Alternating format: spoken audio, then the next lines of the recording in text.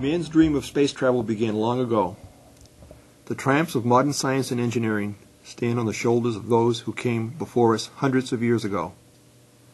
So this evening we will briefly recall the history of science in the late 17th and 18th centuries, a time called the Age of Enlightenment. This was a time of great change and progress. Bach and Mozart were setting new standards in musical composition. Politics and philosophy saw the American and French revolutions. Newton invented calculus and celestial mechanics, the tools for space navigation.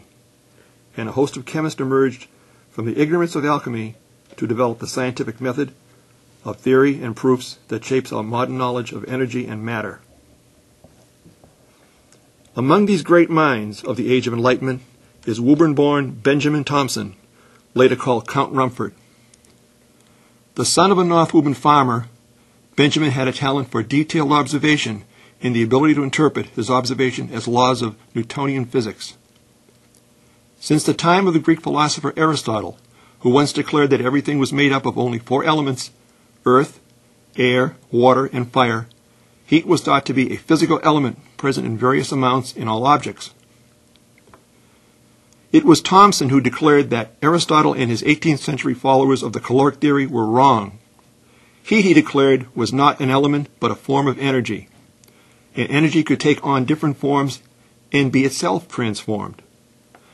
Thompson was the father of the science we call thermodynamics, the study of heat, its behavior, and the transformation of energy from one form to another. Thompson's declarations and proof provided by others in the Age of Enlightenment allowed future generations of scientists and inventors to better understand the nature of our physical world and to create the machines and processes we enjoy today. This, of course, includes the space shuttle and all the industry and knowledge needed to build and support such an advanced craft. Thompson's second wife was Marie Lavoisier, the widow of the famous French chemist Antoine Lavoisier. The Lavoisiers carried out very carefully measured experiments on water, metals, and metal ores. Their work and calculations gave physical proof of Thompson's theories. Madame was herself a brilliant mind who taught herself chemistry and was so adept at absorbing technical concepts that she was the chief French to English and English to French translator of complex technical journals. She was a translator, assistant, scribe, and illustrator of complex equipment and experiments for both her famous scientist husbands. She has been called the first woman of modern chemistry. Tonight, with the help of the reenactors from the Woburn Historical Society's Living History Guild, student assistants, and the computer magic of plasma films, we will offer a short program on the history of this age and the parts played by Woburn's Count Rumford and Madame Lavoisier.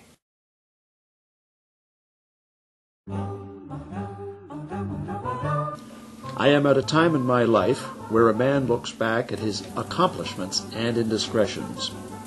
Reflecting on my boyhood in the rough fields and waters of Woburn, and my lifelong friendship with Loammi Baldwin, how I do miss him and the innocent nature of that time and place.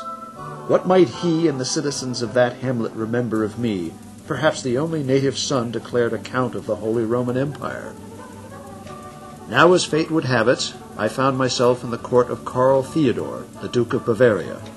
Having my worldly needs well secured, and a beautiful wife who also dwells in the sciences, I had the luxury of exploring the great questions of this time. Madame Lavoisier was also fluent in French as well as English, and soon I was in correspondence with men of prominence of all tongues and disciplines. But as my boyhood teacher John Fowle once said, discussions frequently degenerate into arguments. But I get too far ahead now. While at the military arsenal in Munich, I was observing a cannon being bored under a water bath. The technique is to use a large, fast moving drill to bore a hole in a solid rod of metal. The heat produced was so intense as to make the water boil, and the chips of machined metal were even hotter than the boiling water. I asked myself, from whence comes the heat actually produced in this mechanical operation? Is it furnished by the metallic chips which are separated by the bore from the solid mass of metal? This was the explanation offered by the idea of phlogiston, that an element of heat pre-exists in the metal itself and that it was merely spilling out. However, if the drill was too dull to remove any material, the heat will still be generated as long as the drill was rotating. Heat produced in this manner was inexhaustible and not limited to the amount of material present. Clearly, the heat was not in the metal, but was being generated by the motion of the drill. I further dismissed phlogiston being present in the body of the cannon, since its presence in so large an observed amount would cause the cannon to always be white hot in its normal state. I came to the conclusion, which was later supported by experiments and measurements, that the motion of the drill was being transformed into heat, and that heat was just another form of energy. Those that came after me were able to develop the formulae for these transformations of energy. I published my observations, but I still had non believers. We, Monsieur Kirwan, still insisted the phlogiston did indeed exist. He claims that my former husband, Antoine Lavoisier, had extracted it from water in his experiments with gases. He calls it inflammable air. Richard Kirwan and the rest of those who held on to the caloric theory were fools. It was hydrogen gas, not this imaginary substance phlogiston, that Lavoisier had extracted from water along with vital air, or as Madame Lavoisier calls it, oxygen. When put to the flame, these elements are again combined to form water, and heat energy is released. And just as importantly, the amount of water produced is exactly the same as that which was decomposed to produce these gases. My former husband and I had carried out this experiment with very careful measurements. Matter is not destroyed or created, only separated or combined, and water cannot be an element. It is composed of two different gases.